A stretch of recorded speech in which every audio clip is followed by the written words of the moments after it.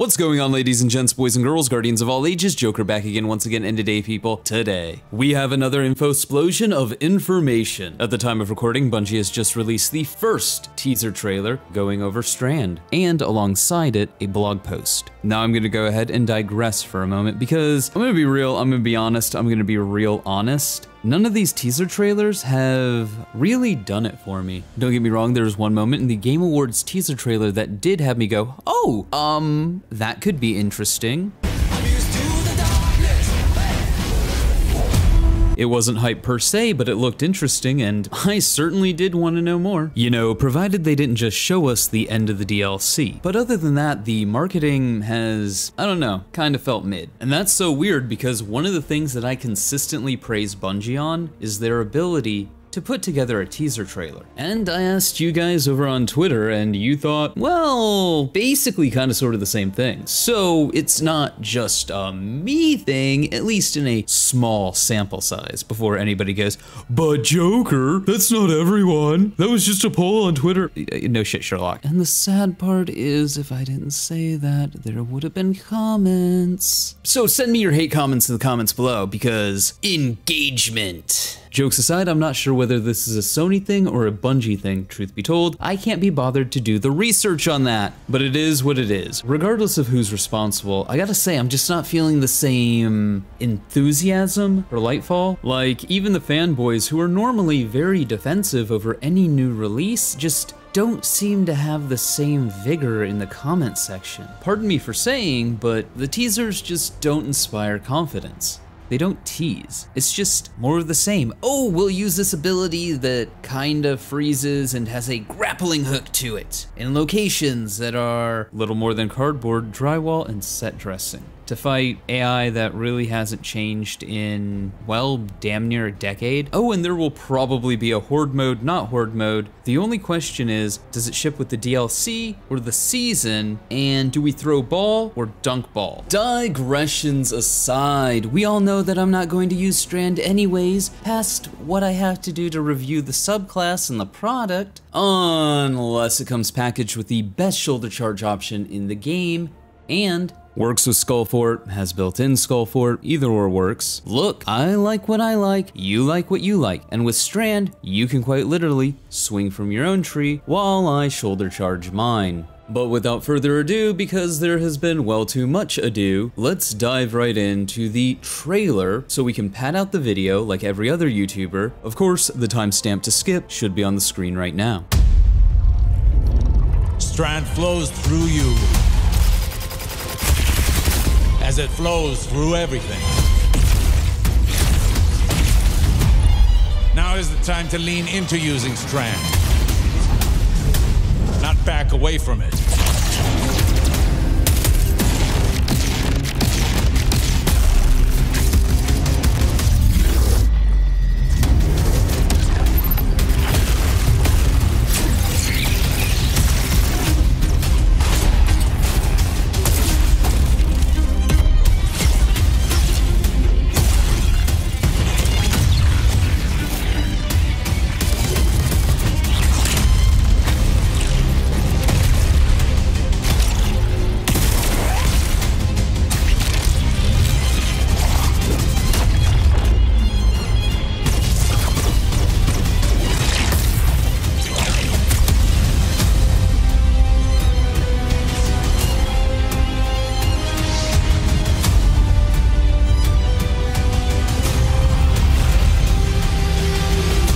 Where the current takes you.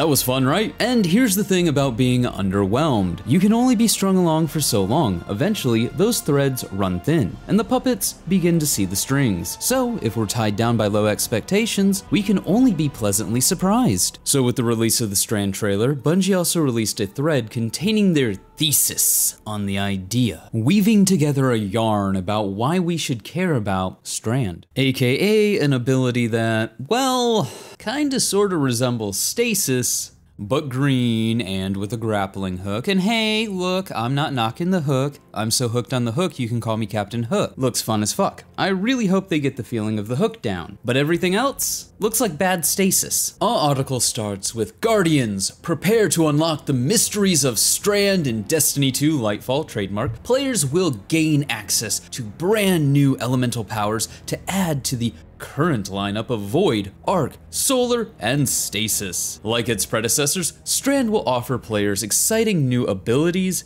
and powers to dominate on the battlefield. Oh my, dominate on the battlefield. Well, isn't that a little naughty and kinky, you know, given that we're tying people up? Wink wink, nudge nudge, whip whip. With Strand Guardians will be wielding the fabric of the universe in ways that will be a formidable threat to anyone who stands in their way. That's really interesting to hear because I'm interested in all these strings that will connect the various bits of lore in the ever expanding web that grafts Strand on to what came before. But the real question is, will Strand be a game changer or will it be the real Threads a shite? But let's not get tied up in clever wordplay and back to the thread. I'm sorry, the puns, they're too easy. Threads make the Guardian. Hmm, I really should have saved that Threads a shite joke for like 2.5 seconds. Oh well, I guess I just got bound up in all the silliness. From the neon drenched streets of Neptune's secret city of Neomuna to Guardians soaring through the skies by grappling to an enemy spaceship, it's clear from the start that Lightfall is different. Really?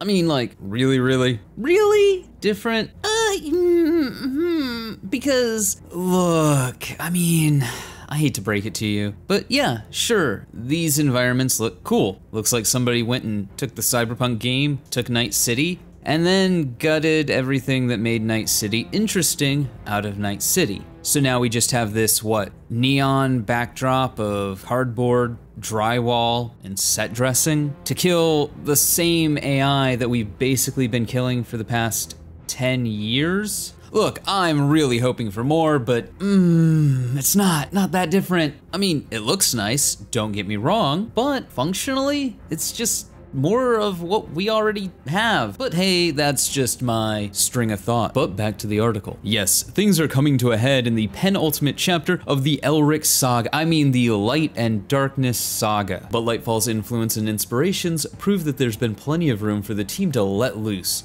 and revel in their creativity and craft and have some fun. But not too much fun because that would be an over delivery, and over delivery is bad for train stations. One of the touchstones the team drew from was the bombast and flair of 1980s action cinema. Think of an era of film where no explosion was too big, no action set piece too over the top. That aesthetic informed much of Lightfall's tone, and it certainly had a big influence on Strand itself. Even before it was formally known as Strand, the team had many concepts for Damage Type 5, as it was originally called in development, before aligning on the feature set and lore that brought it to life. Oh yeah, yeah, yeah, sure. 80s action movies had a lot of, um, tying people up in them, I guess, with explosions. Uh, well, you know what? No, no, no. People were taken hostage in a lot of 80s action movies, so I guess that maths. Look, I'm not saying, I'm just saying, Shibari is about to hit Destiny Rule 34 like crack hit low income housing in the 1980s. Hey, 1980s movies. Got it, nailed it. There we go, it all comes full circle. We had a couple of frontrunners, concepts, for a while, says Destiny designer Kevin Yanes. Part of my desire was to have something more astral in the game. Strand also aligned really well to the fantasy of the product. The 1980s action hero. Now look, maybe it's simply because we haven't seen enough of Strand with the whole BDSM, immobilize, tie your enemies up ability set, which hey, to be fair, don't threaten me with a good time, still kinda sorta just sounds like a reflavoring of Stasis. Just, you know, hey, kinky. As Kevin Yanes puts it, there wasn't a single, ah, moment. Well, I would hope not. You kinda want multiple of those in quick succession over a long period of time.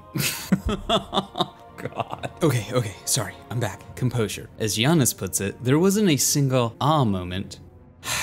where all the threads of Strand fell neatly into place. Instead, it was the result of a continuous dialogue with the team about what would make for exciting gameplay, what would make sense from a narrative standpoint, and how they could make those ideas manifest in the game. Through those discussions, Damage Type 5 slowly morphed into something a bit more specific, then called Dark Telekinesis which evolved further, eventually manifesting into what you see today. We had a lot of conversations around where the strand concept known as weave came from. There's another bondage joke in there somewhere, but Guardians make their own fate, and so we are the weavers of fate. Anyways, sorry, they had a lot of conversations about where the strand concept known as weave came from and trying to reinforce the physical language for how it manifests and how it looks, to make it feel like it was from the same darkness family as stasis Giannis says. Well, I mean, they succeeded because it kind of just looks like stasis without the freezing and more kinky while being neon green. Now, it sounds like I'm giving Strand a lot of shit, but devil's advocate. If you look at light-based abilities, they're all damage-based abilities, and a lot of times even they feel like they overlap. More so now with subclass 3.0, when classes really did lose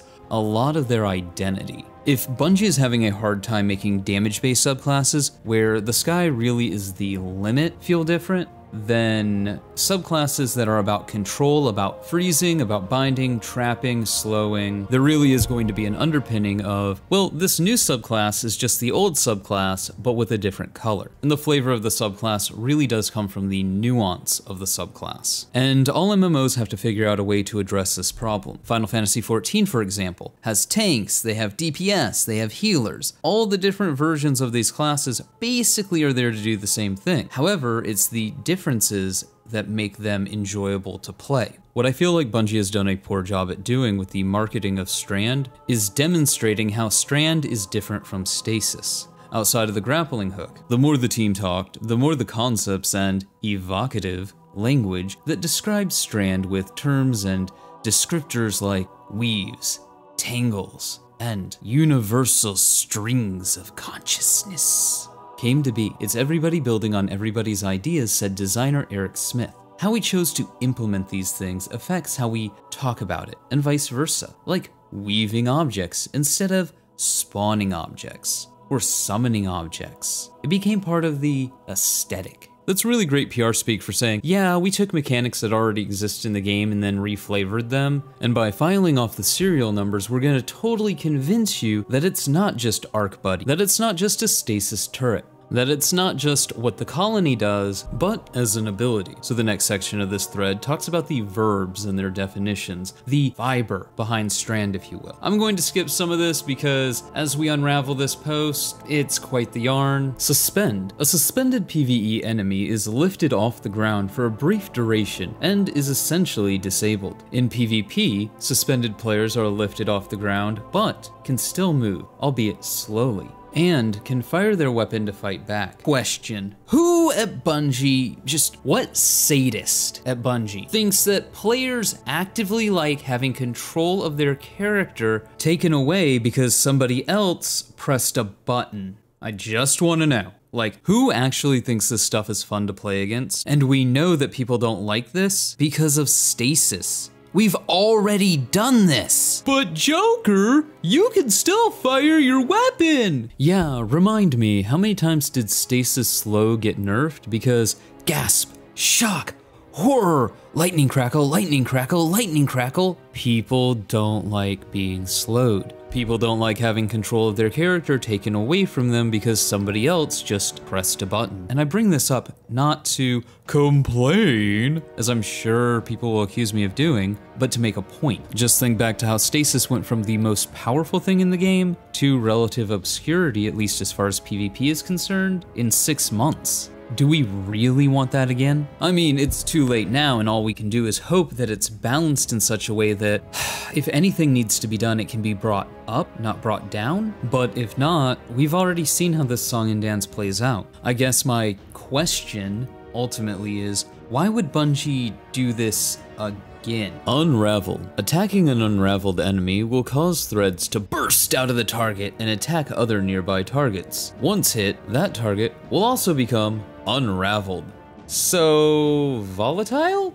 Sever. A severed enemy is less capable of affecting the material world, reducing their damage output as a result. So a 40, well, I guess 30% resilience investment? Ooh, 1% raiders are not gonna like this. The major buff coming to Strand is Woven Mail. With this ability, the Guardian is sheathed in a protective mesh of Strand matter, reducing incoming damage. Note that in PvP, Woven Mail will only reduce damage taken to the body. Head damage and melee damage will continue as normal. Oh, thank god, I was worried there for a second. I mean, Destiny is a game after all, where the headshot hitbox is anywhere from the bottom of your rib cage to your little pinquito. So, now this will probably still be a pain in the ass in PvP, but um, yeah, just hit your headshots. Which, I mean, should be easy enough to do when you are actually allowed to play the game, provided you're not not being strung up or strung along. One of the most exciting new abilities in Guardian Strand's toolkit is the Grapple. With this ability, players can press the grenade button, and their Guardian will weave a hook from strand matter, which can grab onto an anchor point. The grapple hook will then begin contracting, pulling the Guardian along. Strand's grapple can create its own grapple point out of thin air, so you can always propel yourself through the sky even if there's not a solid surface to latch onto. Guardians will also be able to execute melee strikes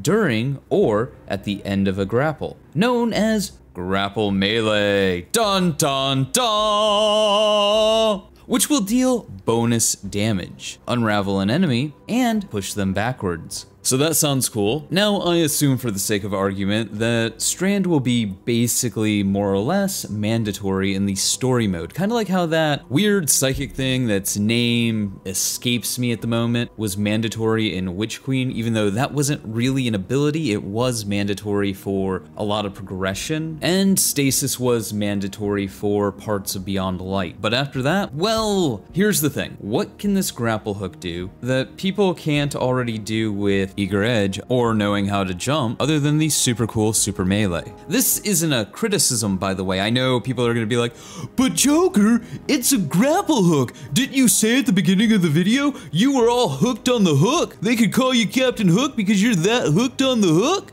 Hold on, let me explain. I want to know how this will be significantly different, more so in PvP than any other modes of movement currently in the game. More so when it costs a grenade to use. I just don't feel like Bungie has demonstrated the value of this ability within their own sandbox. Oh yeah, sure, we had that really cool moment in the trailer where somebody grapples onto a thunder striking titan, but okay. Didn't they just nerf that, by the way? So, it is what it is. I'm excited for the grapple hook. Put a grapple hook in a game, and just as long as it doesn't suck, it's probably going to be the funnest thing in that game. But why I need this? The blog post then goes on to talk about how all of these new abilities interplay and work, but Honestly, it sounds a lot like the way all the other classes kind of sort of already play, with a little bit from here, a little bit from there, and it doesn't really matter because, well, we're still mowing down the same brain dead AI that we've been mowing down for, what, the better part of a decade? But I digress, let's move on to the meat and potatoes of the classes. Warlock